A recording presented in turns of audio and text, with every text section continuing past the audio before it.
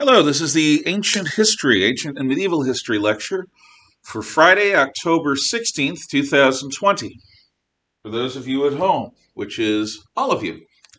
Uh, where we have taken things from is through the various stages of astrophysical history from the time of the, uh, well, what was right before the Big Bang, up through the change in climates caused by very likely a change in uh, ocean currents that disrupted the warm water conveyor that ran around the equator when the Tethys Seaway was closed by the kissing of Africa and Eurasia and the creation of the modern Middle East, and by North and South America coming together to form the Isthmus of Panama.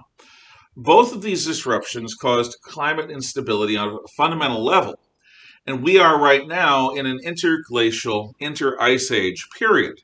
Unless something radically changes, the likelihood is that uh, we will at some point have another time when there's a mile of ice right here in North Idaho between the ground and the surface.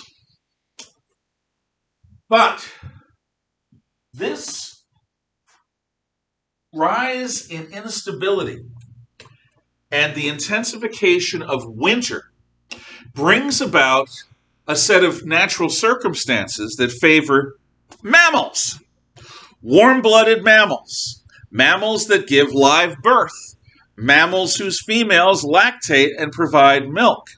Mammals are designed to handle the winter well. We have fur. We have body fat that's designed to nutrify us, but also to shield us from the cold. So, as the climate instability grows, the mammalian domination of the planet, which had been proceeding throughout the Cenozoic, uh, but in early early on in competition with the birds, uh, turns much more in favor of the mammals. Now, we are a product of the ice ages. In effect, mouse-like creatures uh, separate out uh, proto-monkey and apes. Then you have the proto-monkeys and apes, and the apes separate from the monkeys, and then the primates separate from the other apes, and we separate from the strain that produces the chimpanzee, which has a lot of the same DNA that we do. The human species is only around 3 million years old. Life was 3.8 billion years old. So 3 uh, 3,800 million years ago or so, the first life appears. Three million years ago, the first distinctly proto human ape like creatures exist in Africa, according to Darwin's theory of evolution and what we develop later. Here's how we are creatures of the Ice Age. Early on, our ancestors are arboreal primates. In other words, we live in them trees. And living in the trees, we are uh, we develop certain traits that make us human. We have binocular vision. We have an opposable thumb. And these qualities are really important. First of all, since I don't have binocular vision because I'm blind in one eye, I can tell you binocular vision is kind of important in order to spot accurately objects in three dimensional space. So, uh, why do we have binocular vision?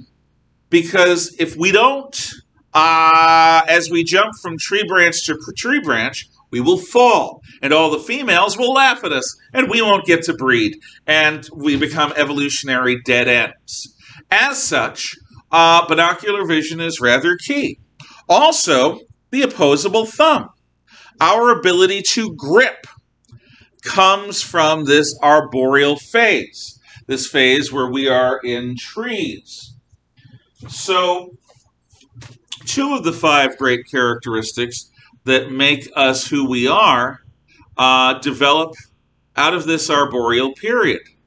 Now, an advantage of having binocular vision is that we have depth perception. In other words, just as I said, we can spot branches in three dimensional space and we can jump to those branches and back and forth and so forth. Uh, so, in reality, uh, we can see things. But we, what we really have as an advantage of binocular vision is we have predator vision. Our attention is focused ahead of us because our eyes are focused on the front of our skull. Prey have eyes on the side of their head so that they get the maximum possible view with the fewest possible or the smallest possible blind spot. Some of them have eyes so much on the sides of their skulls that they almost could be said to have eyes in the back of their head. But that binocular vision that not only gives us the ability to spot 3D objects, also gives us a psychological focus. Remember, we are sight oriented creatures. The dominant uh, sense of a human being is not smell, that's a dog's. It's not hearing, that's a bat's or a cat's.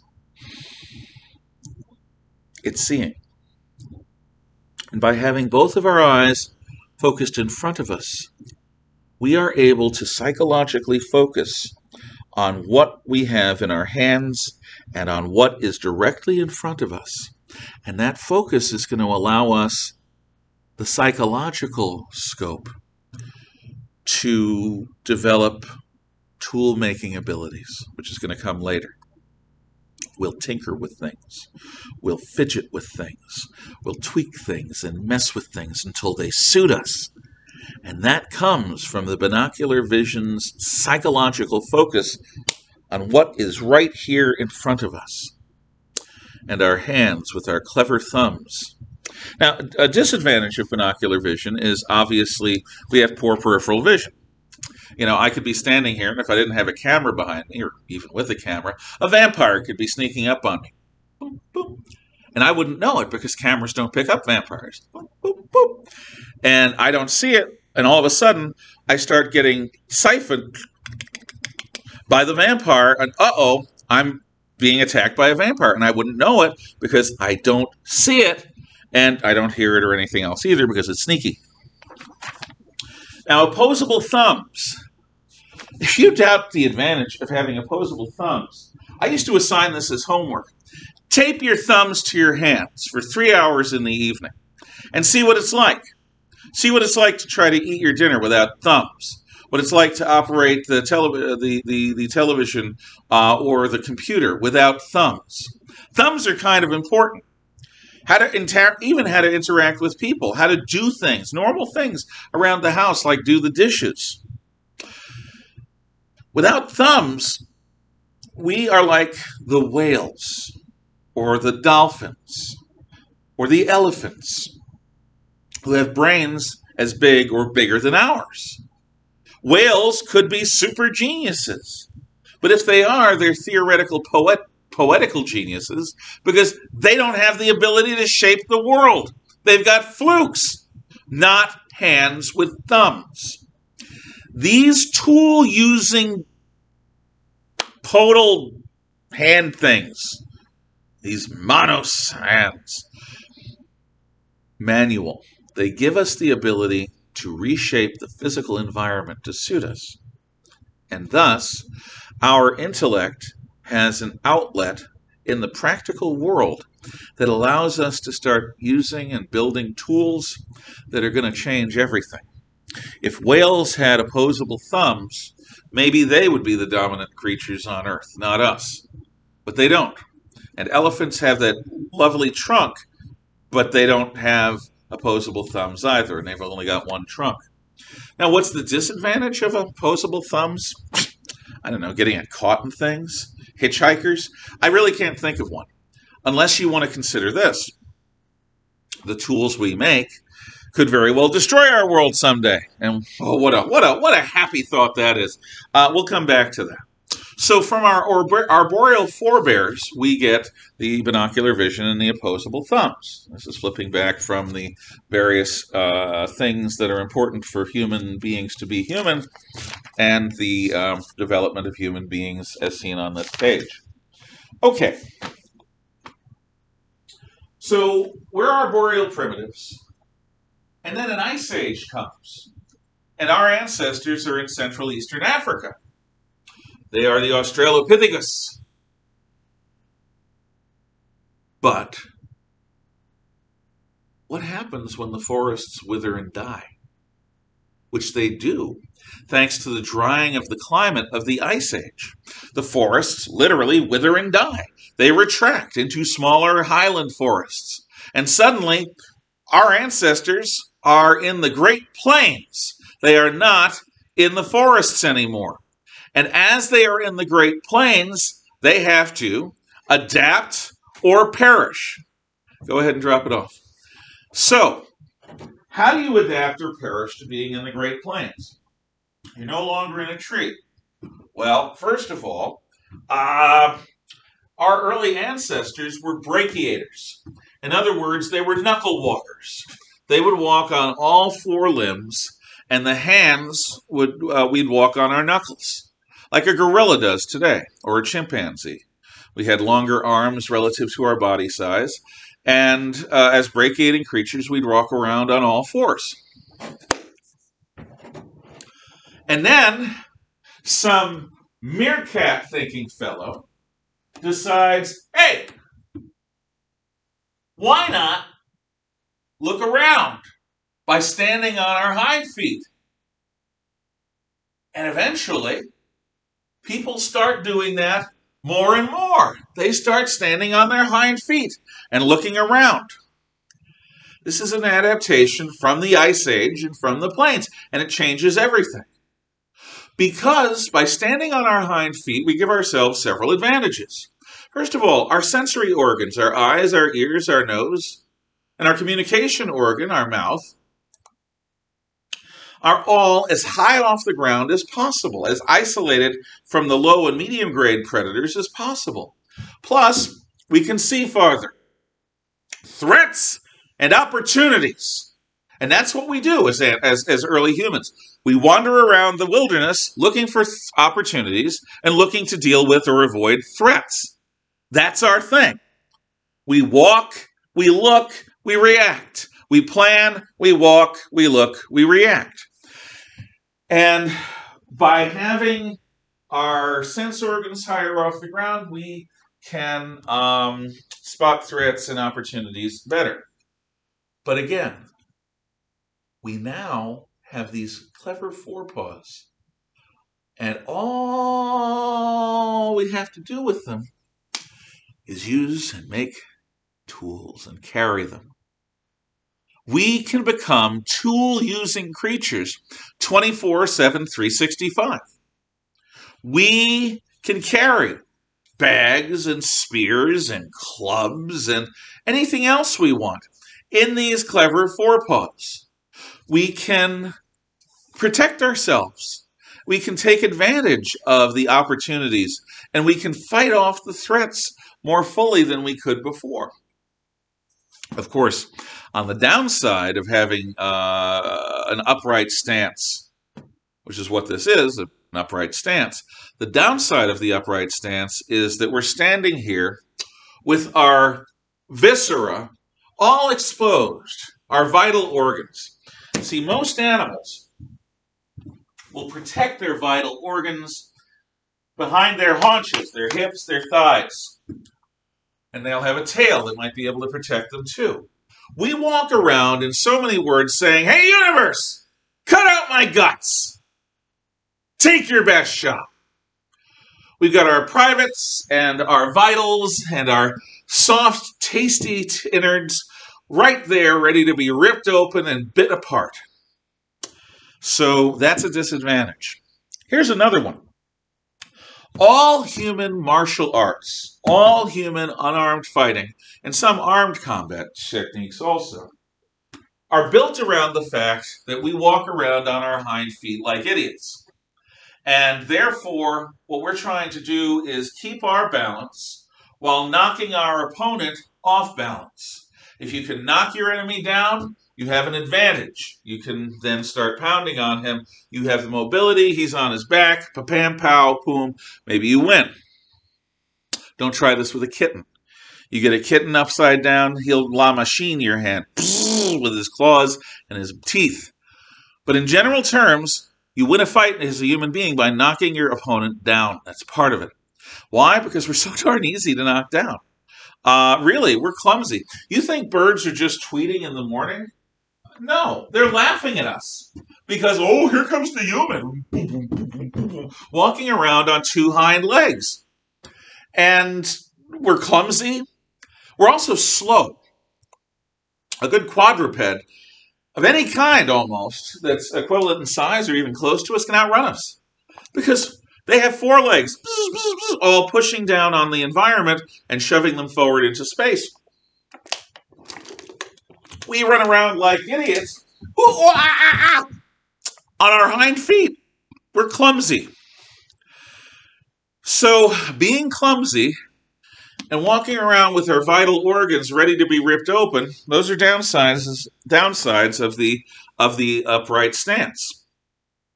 But they're not uh, they don't outweigh the advantages we have to spot opportunities and threats farther away and to carry and use tools all the time that we might want. So, this time that we walk around is the time of the last of the man like apes, and that is Australopithecus afarensis. Australopithecus afarensis is still an ape. Australopithecus, the genus name, means great southern ape. So, the great southern ape from afar, I guess. I don't know what afarensis means. I'm guessing. He's about this tall, the size of a child or a hobbit, about as tall as my hips. And he's got a stance that is still brachiating. He's still using his knuckles to walk as much as his back feet. He's got a fairly small cranium. He's got these thick eyebrow ridges, which is typical of most apes. And these thick eyebrow ridges go almost straight back. There is very little or almost no forehead or forebrain. The slope of the skull is extremely back. He's also got a snout, which combines the nose and the mouth. Very simian type skull and facial features. Now, as we get more comfortable in the plains, according to the theory of evolution, the first of the ape like men appears. Not Australopithecus genus, genus Homo, which is human being. Homo habilis. Literally, it means handyman. Like Tim the Toolman Taylor from the old TV show Home Improvement. Whoa, whoa, whoa. Homo habilis means handyman. Australopithecus, like many apes today, will use tools. Like chimpanzees will approach a termite mound in Africa and lick a thin stick and then stick it in, and it comes out, mmm, termites. Mmm, yum, yum, yum, yum, yum. Homo habilis will do more than just pick up a stick and use it, or pick up a rock and use it. Homo habilis famously makes chipped stone tools. You find something like flint, which cleaves really well and creates a good sharp edge. And you develop the patience and the skill to tamp away at it. Tip, tip, tip, tip, tip, flick. Tip, tip, tip, tip, tip. And you want to do this without shattering the rock in your hand. It takes hours. It takes your muscles cramp. It's just awful. But they learn how to do it. And the result is that Homo habilis can make a stone knife that can slice and a, sto- a stone knife that can stab. And Homo habilis can also use that knife to sharpen a stick and make a, a thrusting spear. Boom! All useful things.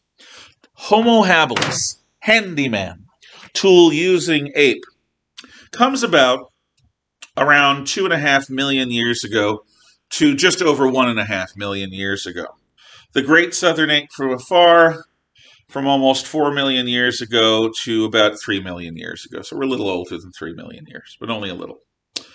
Um, now,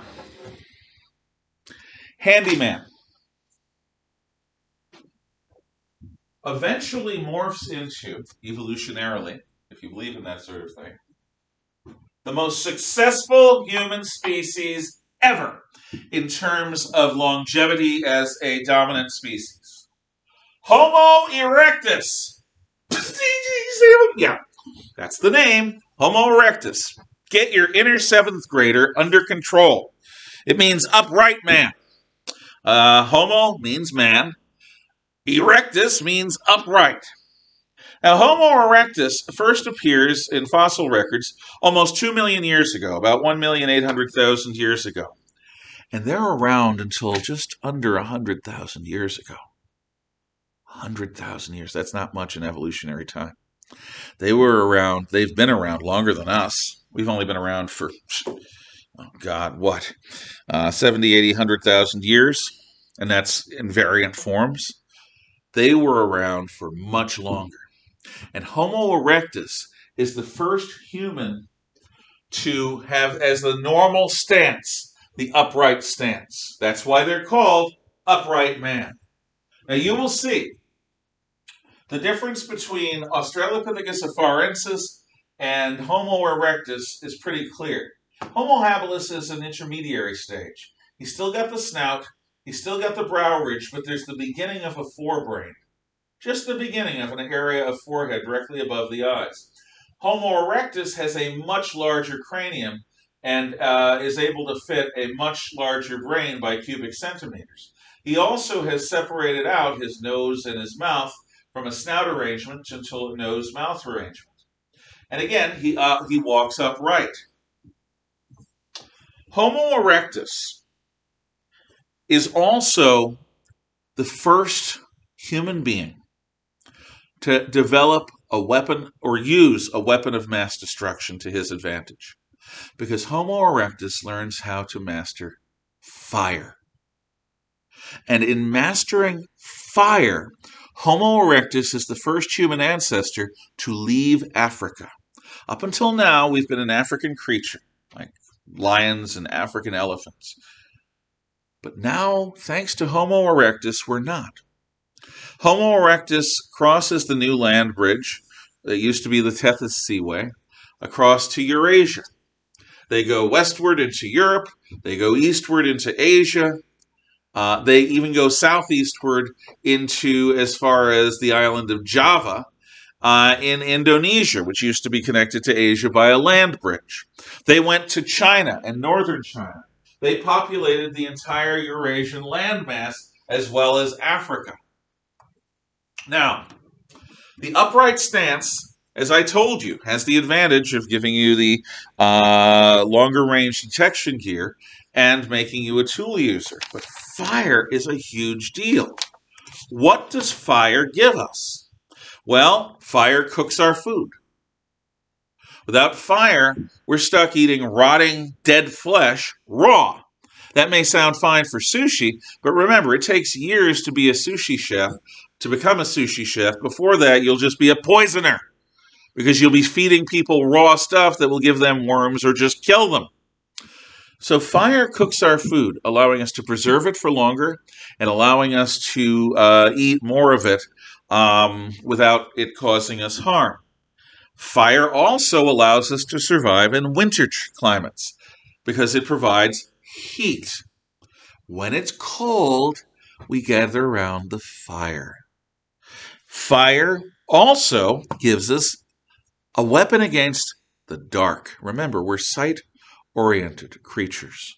And suddenly, we have the ability to have a campfire and to have a torch. We can bring light to the darkness. That is a huge psychological advantage. For the first time, the night need not be dark and full of terrors without any kind of remission. Every creature on earth is afraid of fire. You get a toddler who doesn't know any better. Mom, what's that on the stove? It's purple and orange and it's yellow and it's beautiful. Well, at this point, you'll see there are two kinds of parents. One kind of parent will say, Stop!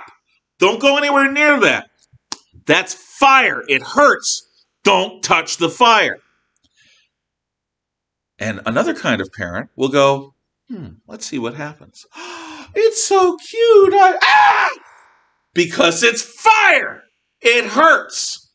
Now, a kid's probably not going to get so close to the fire that they'll really hurt, hurt themselves. I'm not a parent. And probably it shows during this because most parents wouldn't let the kid actually get close enough to get burned. But some parents will. Let's see what little squirt does, says the big sea turtle in uh, Finding Nemo. The kid will learn a lesson they will never forget. Fire should be treated with respect, and you don't touch the fire. Just as there are two kinds of parents, there are two types of kids. One type of kid, having mom told him, uh, don't touch the fire, will never touch the fire, not until they become a teenager and rebellious, because uh, the jargon, it, mom said it's dangerous and I trust mom. But there are some people who have to find out for themselves. So what they'll do is they'll wait until not, mom's not around and then they'll touch it on their own. And the second type of parenting then eventuates. They learn not to touch the fire. Anyway, because every creature on earth has an instinctive fear of fire, now we're traveling as Homo erecti through new parts of the earth. And these parts of the earth have tigers, like saber-toothed tigers. They have lions. They've got dire bears. Oh, bleeping my! But we've got fire! And with fire and torches, we can hold off or even fight off the biggest land animals.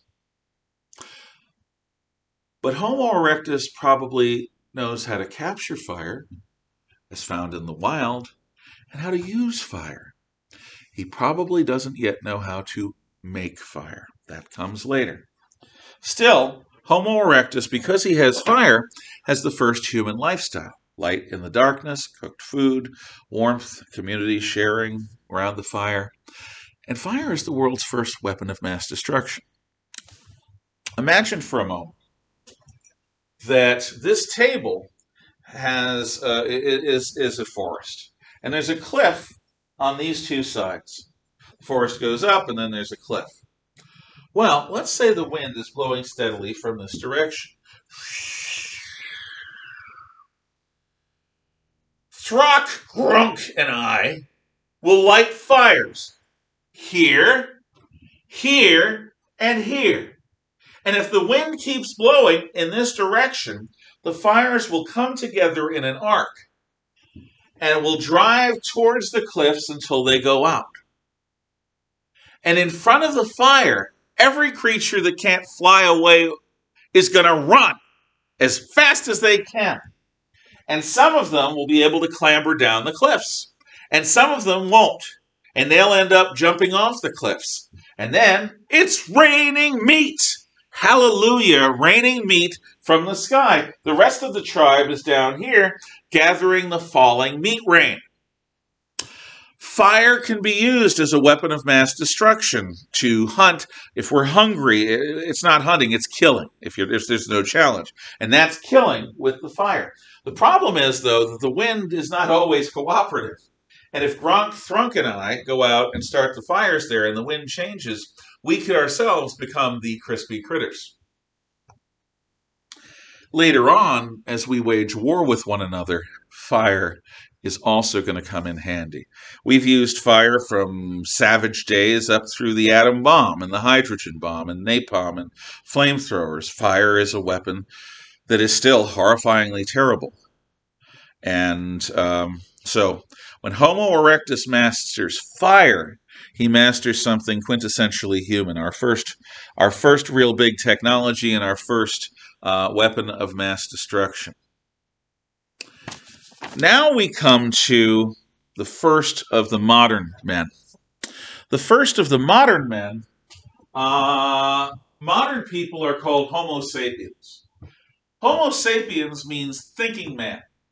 And there are many varieties of Homo sapiens that appear from the last hundred thousand years or more. Homo sapiens. This is Homo sapiens neanderthalensis, Neanderthal man, the quintessential brutish looking caveman. He looks like an orc. He's got sort of coarse features, he's got a nose, he's got brow ridges just like the others to protect the head. He's got a big forehead, though, like we do, and he actually has a larger brain case than we do. Neanderthals have bigger brains than we do, but it's proportioned differently. They have more of a middle and back brain and less of a forebrain. Now, why does this matter? Because the brain above our eyes is where we keep all our stuff. It's where we keep our personality. It's where we keep the memory of our identity, of who we are, and of what makes us special and different as compared to other people in the world. This is where I live, in this forebrain area above the eyes. The Neanderthal has that enough to be an individual, the way we are. Homo erectus? Maybe, probably, but we're not sure. They would have something of a human mentality. Homo habilis, probably not. On the way to that, but not yet fully there because the brain, especially the forebrain, simply is not big enough. And forget Australopithecus, he doesn't have that part of the brain except in a vestigial or proto form. But Neanderthal man has it. Now, Homo sapiens neanderthalensis is specialized to Ice Age Europe during the last Ice Age. During the last ice age, much of Europe was under glaciers, and those parts that weren't are like the Arctic Circle, like northern Siberia or northern Canada. Homo erecti tended to be shorter and squatter than we are, and they also tended to have thicker bones and thicker barrel chests. Why? Because all of that thick bones, thick muscle, and they had a lot of that, and the sort of squat barrel chested look, all of that is going to help the Neanderthal keep their vital organs from getting too close to the surface of their body and therefore from getting too cold. The Neanderthal is able to preserve body heat around their vital organs better than, than we, willowy, uh, later day Africans can. We also know that Neanderthal has a human personality because they do something that is the first proof of religion in natural history. The first proof. There are others that might be, but this is. When a Neanderthal dies, sometimes they're posed and they're placed in a burial hole. And they're placed in a burial hole with food, tools, and weapons. Now understand at this point in time, there was no food surplus. Every bit of food given to the dead was food that a living person really could have used. Tools took hours, days, weeks to make, and they wore out quickly. They'd have to be constantly maintained. This is the equivalent of the woman in the 1970s who, when she died without children and without any surviving relatives, chose to be buried in her brand new Cadillac. This was California, of course. So they took a steam shovel, opened up a big ramp like hole, drove the Cadillac in, placed the woman there in her best dress with her jewelry like an Egyptian pharaoh, and then uh, rolled up the windows, closed the Cadillac off, and bulldozed it over and put a gravestone on top of it. This really happened. So this woman is buried with her Cadillac. Now, that is the equivalent today of being buried with a car that costs between fifty and $100,000 towards the $100,000 mark more likely. Nobody does that except that woman and other people like them because it is a profligate waste of things that the living might use in order to do what? Well, that's that's the question. Why on earth would Neanderthals bury the dead with food that the living could eat with tools that the living could use and with weapons that the living could fight with? And the answer is there's no rational explanation except one. A religious belief in an afterlife, some kind of happy hunting ground. The dead will pass on to another world like this, you see, but it's different. It's mm-hmm. maybe more eternal. It's maybe more spiritual. A happy hunting grounds is some of the Paleolithic cultures that we've come into contact with in recent times. They'd call it. And in the happy hunting grounds, the newly awakened, newly arrived deceased soul, the honored dead, won't be naked. They'll have clothes. They won't be hungry. They'll have initial food supplies. They won't be powerless. They'll have tools to use and weapons to hunt with. Those are all gifts of the living. What this means is that religious sensibilities about the afterlife are older than the modern human species. That's amazing. Religion is older than human beings in our modern sense. Neanderthal man survives unto the time when us, our latter day African selves, come out of Africa. But before we go on, let's talk about the good and the bad of the growing brain, because Neanderthal man clearly has it. The good that comes out of the brain is that we are not creatures defined by our instinctive programmings. This is the flaw of all racism.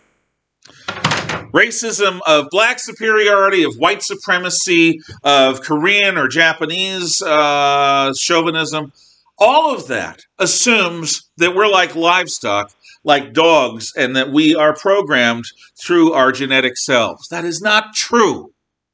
With our growing brains, with the forebrain, the brain above our eyes, we break our instinctive programming and we choose to be who we are. We make choices and decisions about what we are going to be. We don't have to be what our instincts tell us. In fact, the whole point of growing up is to learn how to discipline your instincts so that they will serve you and so that you won't be the slave of your own passions. From this ability, to think and choose for ourselves and not simply be the arrow shot by our genetic heritage, we get all culture and civilization.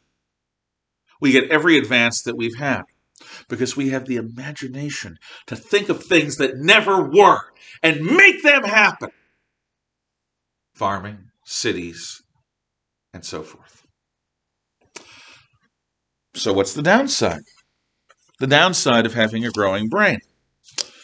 Hmm. Um, yep. It's the same thing. The growing brain allows us to remember. So we draw our own conclusions about the meaning of life, the universe, and everything. It allows us to think, to imagine for ourselves. It allows us to make choices. These are all good things unless they lead to evil.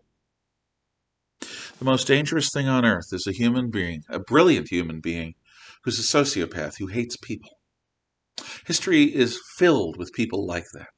People who, without any guilt, cause megadeath around them because their will be done. The most dangerous thing on earth, and I can prove this disadvantage of the growing brain by looking at other big brained creatures. Chimpanzees. Jane Goodall the great researcher of chimpanzees, to her horror, in the 1990s realized uh, tribes of chimpanzees go to war with one another. They kidnap and they rape one another.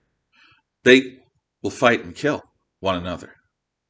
To her horror, because she had spent decades with these groups of chimps, and now they're fighting one another, they're fighting other chimps. They're engaged in the same kind of evil that we used to assume human beings were unique at. Well, there are now three or four species on the earth that we know wage war ants, maybe bees, chimpanzees, and human beings. Four creatures that, engage in this special, weird thing known as warfare. Another example. There is a, um, a documentary series on ocean life that was made 15 or 20 years ago called Blue Planet. beautiful, absolutely wonderful photography, incredible, uh, thoughtful storytelling about life in the seas and oceans of the world the coastal, the deep, and so forth. And on two occasions, I saw things that haunt me to this day. On one occasion, there is a gray whale and her pup swimming as fast as they can through the open ocean, being chased by a pod of rogue killer whales. Now, killer whales normally live the way early humans did, as nomadic hunter gatherers in groups. But the males, like uh, in some human groups, leave when they become adults and they find their own pod. But some males never do. They become like street gangs. They team up with other males. And from that point, their whale song diverges. It's like a different language. And they begin going rogue. They'll hunt their own kind. They'll hunt killer whales and other whales. And they'll eat them by preference. Whereas normal whales, normal killer whales, will eat seals and things like that. Maybe other species of whales. But rogue killer whales go cannibal. And they, well, they also do things like this. So one of the killer whales gets a hold of the pup and instead of just eating him or crippling him or bringing him to a point where the other whales can take the pup away from its mom, the killer whale goes, wee, wee, and the little baby uh, gray whale flies end over end across the sea to another to where other killer whales are. And then it gets tossed back. And they play a little game while the mother dies of her wounds or is so exhausted that she can't at least fight for her child. So there's that. There's another scene in another episode where the seals are breeding on the shore. And the little baby seals are getting ready to go back into the water for the first time to, to explore the great oceans. But the killer whales know the pattern. And so they're there when the seal babies are going back into the water. Hmm. They're waiting because it's lunchtime. The little baby seals are prey. The ones that get past the killer whales get to live. The ones that don't, don't. But again, among these big brained creatures, the, the killer whale, the orca, they'll, there, there's this scene of one of the baby seals being captured. And again, whee, being tossed end over end. And another killer whale comes up and, like a soccer player, headbutts it with its nose. Whip, and then gets it and tosses it back. And they're playing a game of catch or volleyball or something. Now, in both those cases, that's not survival te- techniques. That's not natural instincts. That's not like a cat playing with its food because a cat is programmed to play with its food so that it can boost its hunting skills. No, what's happening here is evil. Evil. The cruel, malicious choice to cause harm because it's fun. That is sadism, which is evil. And killer whales are quite capable of it. Dolphins, which are much nicer and much more nice to human beings, have been known to take female oceanographers and rub up against them in what seems to be a form of sexual assault. Why would they do that? They're different species. In all cases, dolphins, killer whales, chimpanzees, you're dealing with big brained creatures who have the capacity to overcome their instinctive programming. Instincts don't make people evil, they make them brutal. Instincts don't make creatures, should I say, evil. But our big brains, the things that gave us civilization, also give us evil. When we leave the Garden of Eden, we are no longer protected by the instincts that tell us right from wrong. We have to work those things out for ourselves. And in doing so, we grow brains capable of great good and diabolical evil. Now we come to the last group Homo sapiens sapiens, modern human beings. No real brow ridges. A little slight bump in the skull, but for the most part, no real brow ridges. A distinct mouth, chin, and nose, all separated out. The Neanderthals have this too, but it's a little coarser. Big, giant cranium. Yeah, a brain that's smaller by cubic centimeters than the Neanderthal, but a brain that emphasizes the forebrain, the frontal lobes, the part of the brain where we keep ourselves, our personality, and our identity. We are frailer than the Neanderthals. Without the brow ridges, it's much easier to kill a human being by traumatic head trauma. Our bones are lighter. Our musculature is less strong than a Neanderthal's. However, modern Homo sapiens, about 40,000 years ago, developed something. And all Homo sapiens, all modern humans, come from a source as recent as I think less than, certainly less than 40,000 years ago. I think it's actually closer to 20. 20,000 years ago, our species, our subspecies, comes out of Africa and we are tall and willowy compared to the Neanderthals and to the other Homo erecti and other things that we're encountering. Well, not Homo erecti, they're gone. Now, what advantage could we possibly have? We got the voice box. And the voice box allows us to sculpt sound like Michelangelo. Before the voice box, we have the ability to maybe communicate with our hands. Maybe Neanderthals did that. And we have the ability to convey basic things.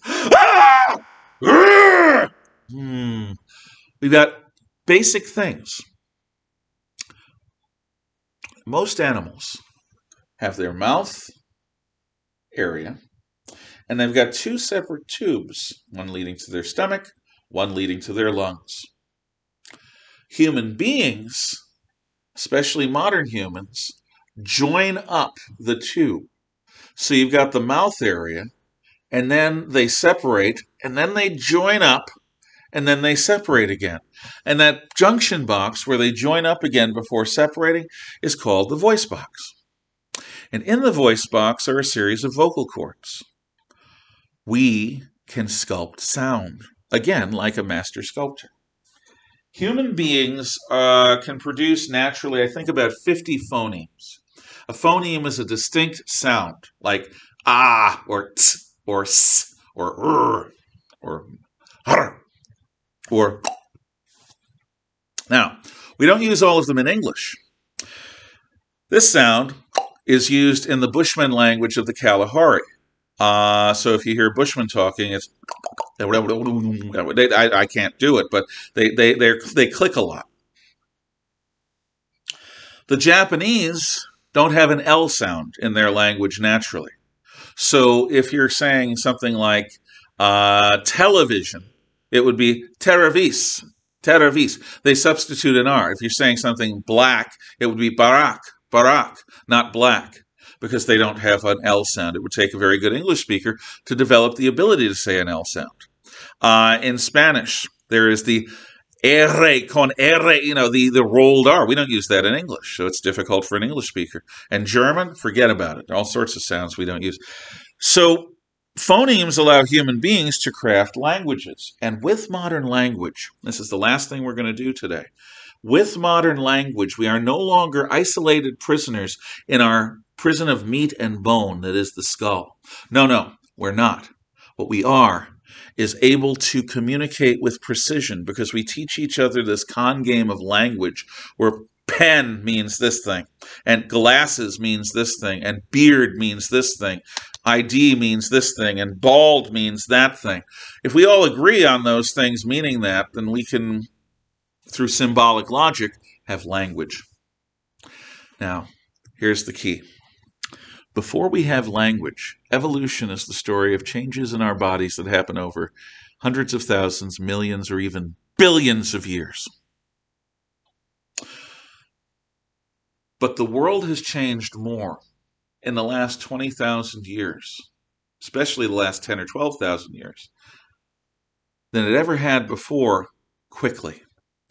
And the reason is we can talk to one another.